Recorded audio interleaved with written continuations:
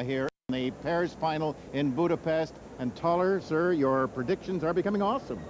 Yes, they are a little bit awesome. Sometimes I surprise myself. But I think what has to be said is that nothing is for sure in this sport. Anything can happen. And with the win of Vasiliev and Valova, it made for a wonderful evening because they have come out of a kind of slump. They've been second for so long after their big win in Sarajevo, and tonight they won, and the judges gave it to them, and deservedly so. And it was a gratifying evening for Canada, too, because that fifth place finish by Benning and Johnson means now Canada will have the maximum, three pairs at next year's Worlds in Paris. Well, Ted, the Canadian pair has made a fine showing here.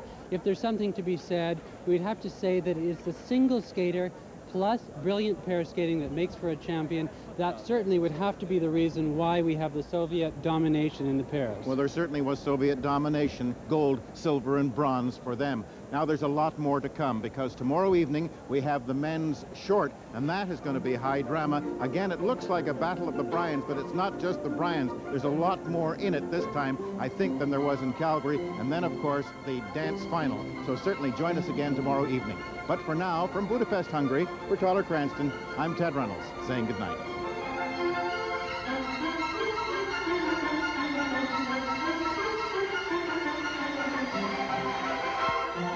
The 1988 World Figure Skating Championships are brought to you by Campbell's, an official sponsor of Canada's national figure skating team.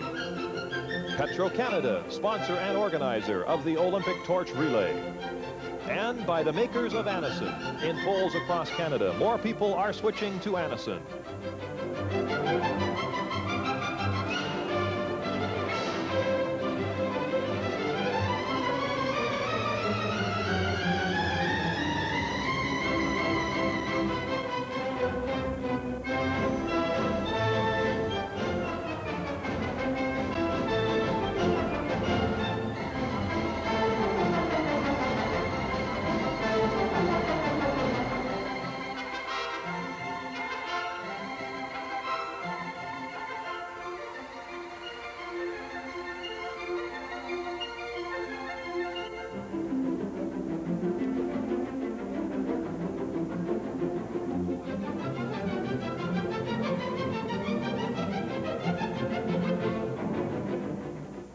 He was a political wizard.